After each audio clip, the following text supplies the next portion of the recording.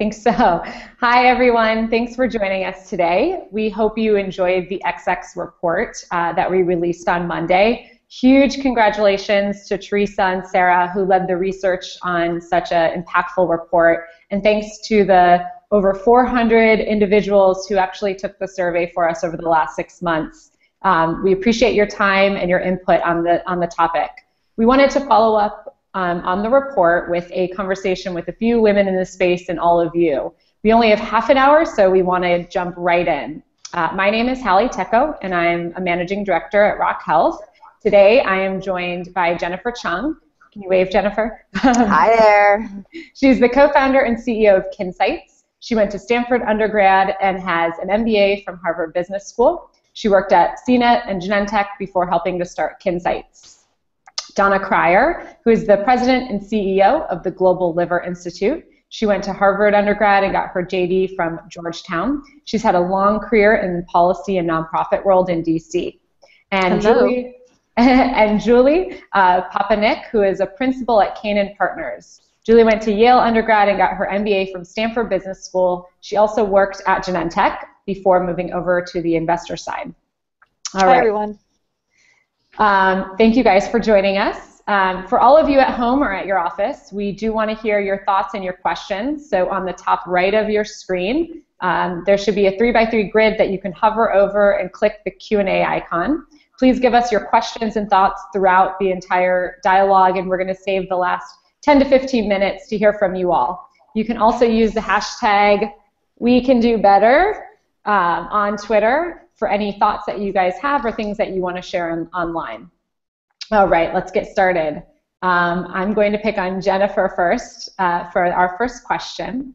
So in our research, we found that only 6% of funded digital health CEOs are women, and only 10% of VC partners are women. Do you think it's harder for women to receive venture funding? And if so, why? Well, you know, the numbers seem to say that yes, it, it's certainly harder, and I think there are a lot of um, complex dynamics at play here. You know, I think one is kind of pattern recognition, you know, which can be very faulty. So if you're an entrepreneur who looks, feels, and acts like the CEO of another successful company um, that you as an investor has funded before, you're just more willing to take that leap of faith. And so if you're a male, you certainly benefit from this a lot more than a woman. There just isn't enough volume, sort of a female, of female entrepreneurs who've been funded to make this sort of work. Mm-hmm. Um, and another thing that sort of comes into play is there have just been fewer women in tech traditionally, so there aren't as many CEOs who can sort of position themselves as second or third time founders with a track record. Um, so it means that most female CEOs have had fewer touch points sort of in the startup ecosystem um, by the time they go out to receive funding. Um, so I think that can be very challenging. And the last one that I think is really the toughest to tackle is thinking about social dynamics. You know, I see a lot of male CEOs and investors who really blend their personal and professional lives all the time. They build these deep, really integrated networks well outside of the workplace. And so, as a woman, if you're missing out on sort of 80% of those interactions, it can just really be tougher to get integrated into those inner circles um, where those relationships and friendships really get built. And you know, 80% of work happens outside of the workplace, um, and I think that is a very, very difficult challenge for women. Yeah, especially in an industry where your network and your relationships is, is really everything. Yep. Um, one of the other things that I, I saw in um, research, not Rock Health research, was that men are more likely to be uh, given a chance early on, and people will believe in what they are going to achieve, whereas women are mm-hmm. valued based on what they already have achieved. So a 20, yeah. you know, a 19-year-old Mark Zuckerberg, um, people are more willing to take a risk on him, whereas a, you know, female version of that um, would they would ask questions like, well, what have you done so far? Why are you qualified to do this? Um, do you think that that you've seen that? Do you think that's accurate? Yeah, I think there's a bit of that, and I think that does fall into sort of the pattern recognition problem, right? When you see someone like Mark Zuckerberg go out on a limb and try something and to succeed, when you see someone else who kind of reminds you of him, you know, it's easier to take that leap of faith. Mm-hmm. Um, and so I think there aren't enough women who've give, been given the opportunity to do that, or women who've put themselves in that position, um, mm-hmm. to then again start educating sort of investors in the tech community that you know women are just as capable and sort of yeah. don't need to be measured on sort of actual sort of the same metrics. Well, and, and the irony of it is one of the most successful uh, companies built in the digital health space, Epic, uh, is run by a woman, but she's uh, very under the radar and she's not yeah. putting herself out there um, as a role model. I think she'd rather kind of uh, be kept to herself and she doesn't like press and she doesn't like speaking at things. Um, Julie, as a VC, uh, what has been your experience in getting pitched by women founders and why do you think that they're receiving less funding than their male counterparts? Yeah, that's a good question. Um, so I think a, a, little bit is about the warm intro. To go back to the social dynamics associated with getting funded um, and pattern rec- recognition, I think part of where there's so much uncertainty related to a business, a product, or a service is who is the team? What do I know about them? What do I know about their background? What do I know about their potential? And I think that we see a lot of warm introductions from men. Um, mm-hmm. and I think that does have to do with that social dynamic. The fact that we have female partners, two of them, I'm a principal, I invest for our firm, and I, I know plenty of women who have science, math, engineering backgrounds. It, it actually isn't an issue, in my opinion, in my network, but I think that's also because maybe I came from there. And so when a woman comes and talks to me about what she wants to do, it's a lot easier for me to talk to her and also understand that if she makes a self-deprecating comment, it's not actually because she's insecure. It's actually just sometimes how women talk to each other to be vulnerable and approachable. Um, and so there, there is that dynamic of not only networking to get the warm intro, I think getting the intro from the right investor to another investor who they have co-invested with in the past.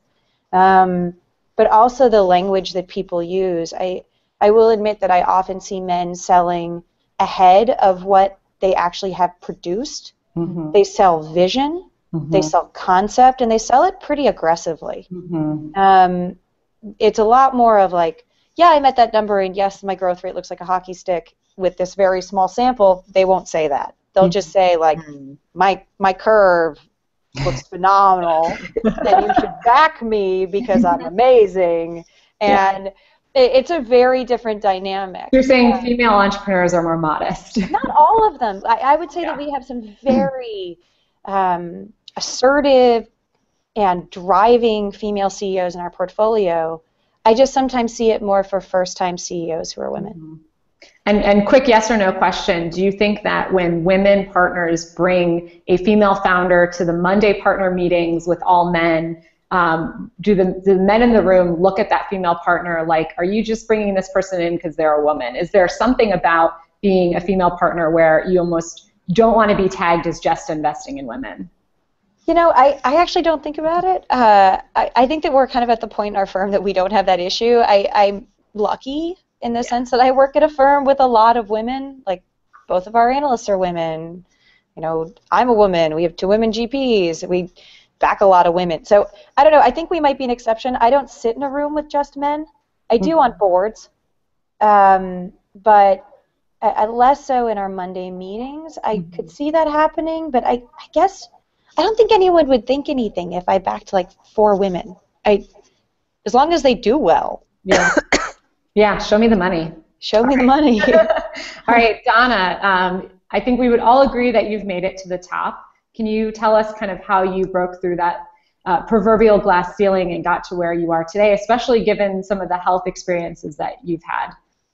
Sure. You know, these days I think in terms of um, blog post titles. And so if this were a Sweet. blog post, if this were a blog post, I would entitle it "On Brokenness and Blue Oceans." So, um, on brokenness because um, my path has been like many other women that I've spoken with um, who have achieved sort of executive positions because we've taken on practices or divisions or even entire organizations that are in crisis, that are in some cases utter messes. And so um, the the, the boards or the bosses in those situations are often like, well, we'll give it to the woman because you know it's already a mess. So, but it's an opportunity to shine. It's an opportunity to turn around and show some really great um, results that you can stand on in the future, and then also build your confidence. If you can do it with that, my goodness, what could you do with a you know a healthy organization or resources or anything like that? And so,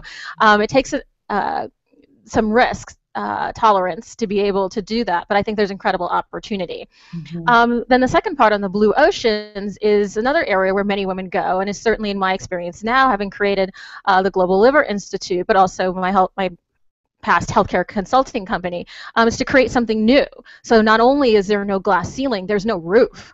Um, so there is no limit to what you can create when you really uh, look in the landscape, analyze it closely, and uh, and find opportunities that aren't being served well, and create and build an entirely new market. And so I think that those are you know the ways that I've sort of found, you know, up, over, around, through um, glass ceilings is to sort of ignore them uh, entirely in in creative um, and uh, you know sometimes bold ways. Great.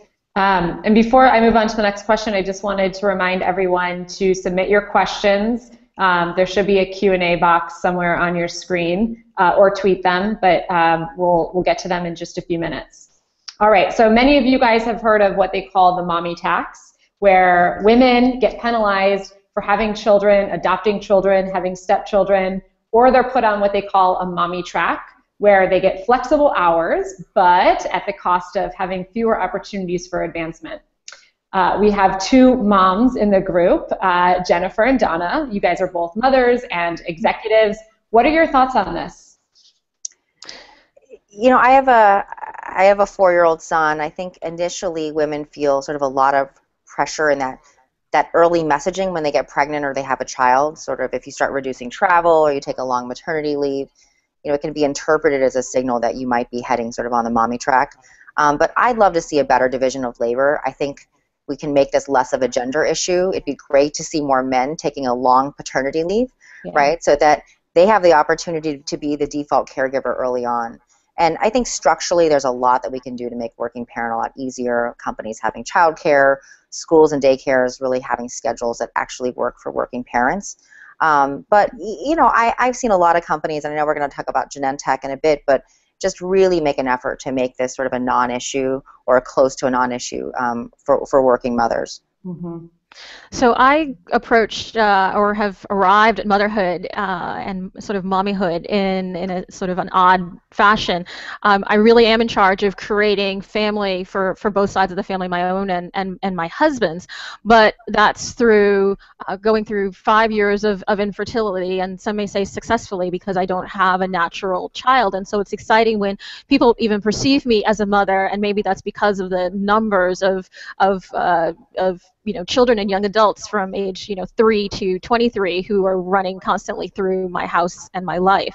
Um, I have three children by by marriage, uh, two of whom are fantastic young women. Uh, one in uh, graduate school and one just about to graduate from from college. And frankly, to them, I didn't become truly relevant until they were applying to college, and I uh, they realized that I had um, only submitted one application to college and got an early action. And after that, I was the font of all knowledge, and our relationship went up from there. But um, I have a, a, you know a fantastic niece, and the Mother's Day flowers that I receive actually come from young women I mentor. So I've sort of created my family. Um, part of having created my own uh, firms and nonprofits, and uh, sort of I run sort of three different companies and social enterprises, but it gives me the flexibility to tend to my tribe on my own terms. And I think that um, that's an that was an important value for me, an important part of my life, and who uh, who I was, who I am. And so, um, you know, I've created a situation where I can really turn things down in September to turn my uh, you know house into Santa's village for the extended um, family because that's really in, important to me. And so I think you have to find out what's important to you and to create the job situation that serves you rather than feeling that you need to sort of put yourself um, into some situation and apply by those those rules. Um, I guess part of the benefits um, of the education. And I did go to a Stanford event last night just so I could fit in with the rest of this crowd. Um, but uh, I think the the uh, you know my, my biggest uh, you know rule of life is that there are no rules. You got to make your own. Yeah. Yeah. I was just thinking you you mentioned that you went through five years of fertility treatments, which I imagine was very expensive. What are your yeah. thoughts on companies? I, am sure you heard about Facebook and Google paying for yes. fertility treatments. Do you think that's a, a good idea? I think it's a really exciting development, and it has been landscape changing.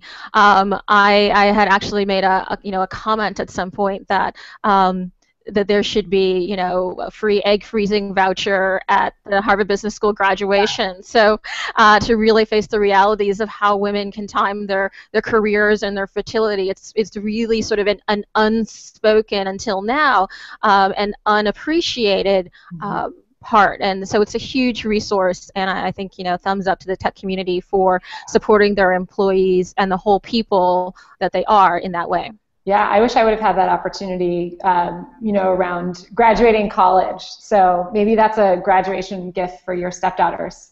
There you go. I keep trying to find step, uh, finding uh, um, potential son-in-laws that I really like, and pitching them to my daughters. Um, they haven't taken me up quite yet, but that's but that's, uh, that's, that's, not that's the one strategy. You your stepmom. Um, all right, let's talk about Genentech since Julie and Jennifer, you guys both worked there. Every year, Genentech is at the top of all of these lists of greatest places to work, greatest places for women to work, etc. Um, so, as insiders or former insiders, what was it about Genentech, the policies or cultural norms that make it such a great place to work, and um, what did kind of the men and women do to, to make it uniquely so? Yeah, I, I was there for about five and a half years. Uh, I worked across business development, uh, clinical development, and then marketing. And I think part of what they first had is I, I think benefit design really matters. And to go back to our point about um, IVF, fertility, they had a long maternity leave, they have a daycare center on site. They have the ability to deliver meals to you on campus that you can sign up for to help you. If you don't have time, you want to spend quality time with your kids, that you don't have to cook. And, and I think that they think holistically about how to enable people to be 100% at work, but also 100% at home when they're home. And that comes in the forms of buses that ensure that you can get there if you're a family and only have one car, you know, if someone else has to drive, there's another way to get to work. They, they have thought about the details of physically getting to work, dealing with kids who, who do get sick during the day. How do you handle that? How do you leave? And there's a culture that it's fairly normal that if you have something come up with your family, you leave. Mm-hmm. And, and people get it. And no one even. You don't get dirty looks. Yeah, and I, I think that's yeah. actually really important in terms of cultural dynamics, which is, mm-hmm. you know, how you respond when someone has an event or has something that comes up that's important to the to you, and that becomes a cultural norm. Um, the second, I also think, is in the way in which they make decisions, where some people don't like the fact that they have committees and that they have lots of review processes, but I think um, on the flip side, there are group environments in which decisions are made and there's a culture where there's an expectation that you're going to speak up. So um, I think that's important in terms of creating a non-combative communication environment in which people can be successful. Mm-hmm. And third, they actually now, in the last six or seven years, I was there when this was instituted, is they're they're trying to accelerate the development of women, understanding that often women are not given the same opportunities, and therefore they're not necessarily going to have checked the same boxes as some of their male counterparts but they still are equally as qualified. Hmm. And so I think what's important is if someone could be a good national sales manager, but say hasn't been a regional sales manager because they've been passed up a couple times before, perhaps by someone who didn't give women the right opportunity, they're still considered, if they're considered to be a high potential candidate for the company as a form of commercial leadership in the future. Mm-hmm. I think that's so important, and, and that comes from both sides. I've, I've counseled a lot of women who feel that if they don't meet all eight criteria on the you know the you know job form that they can't possibly put themselves forward for the job. Um, I'm from the mindset that, you know, sort of like a man, if you can pronounce two of them, you should be given the opportunity to yep. to try for the job, you know, and are usually successful if you put the right resources and team around you. Yeah. Make it yeah. And, and I think there's a lot of support for women at Genentech to do a lot of that internal networking to make that happen. Um, and so people will really out a pathway of view of who you, who you should be presenting to, what opportunities sort of need to be put in front of you so you can kind of make those leaps in your career there. And it was, I think, truly a badge of honor to have a diverse team um, at Genentech. That was something that um, I think the senior leaders all aspired. And I saw it at all levels of the company. Um, the head of our franchise, I was on Rituxan, which was a multi-billion dollar franchise. You know, he had a son, and he left every day at 5 o'clock um, to go pick him up from after school activities. And it sent a great message to the team. And it wasn't about gender, it was about being a, a workplace um, that worked for everybody. Mm-hmm.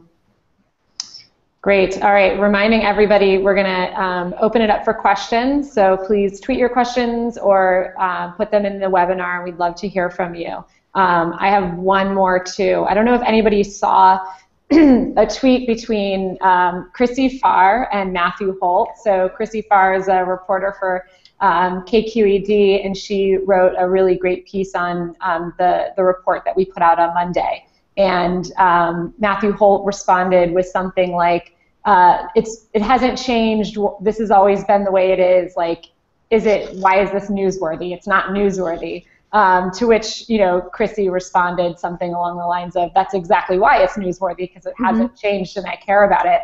Um, what do you guys think of that? I mean, you the the number of women in tech has actually gone down. Um, the number of women in leadership positions in VC has been flat or gone down. Um, and healthcare is the same thing.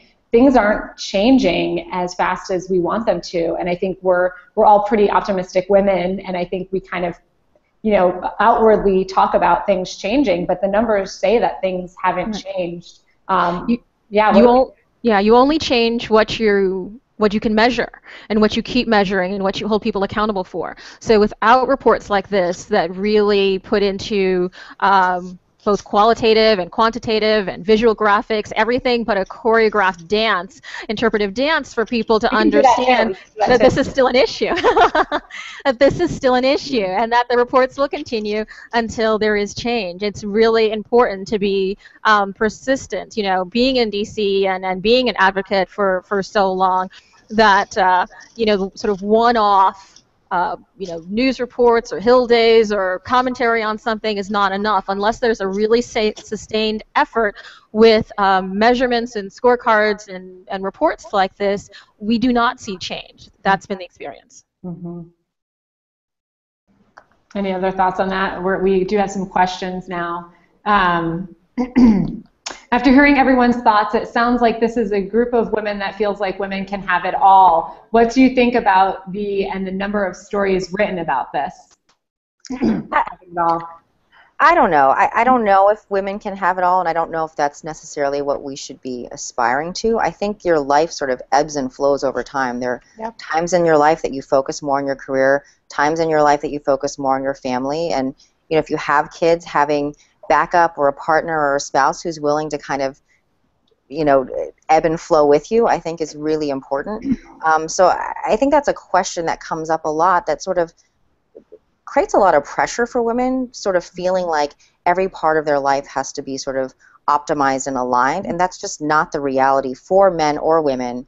Um, so yeah that's not like a goal that i sort of have in mind that i want to sort of have it all. At this time in my life i'm really focused on my career and that means there some mm-hmm. things have to give, um, and sort of structurally, I kind of sort of arrange my life to sort of make it work.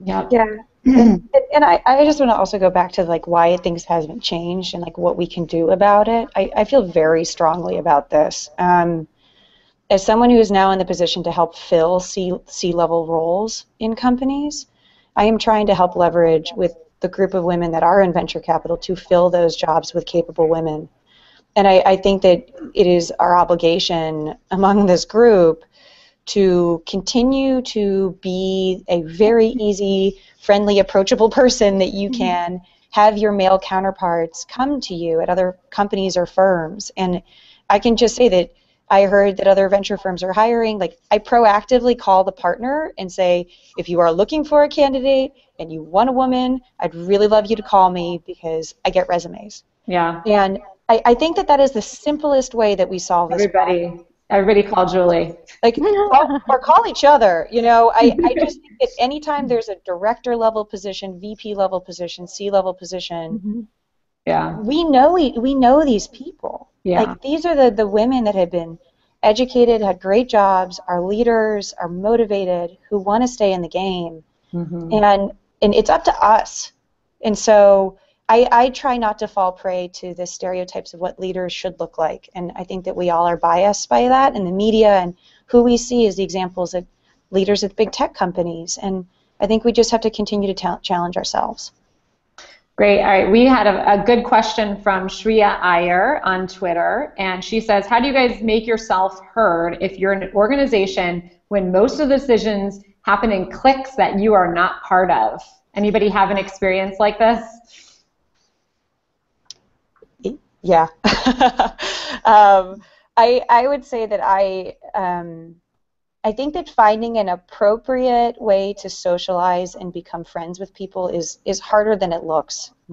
Um, most of the people that are VCs are men with families, with wives, with kids that live in the same area that I do, and often people socialize by having drinks after work. Yeah. I have to think about how to create an environment that they get to know me in a social dynamic and in an environment that also just doesn't put them in an awkward position.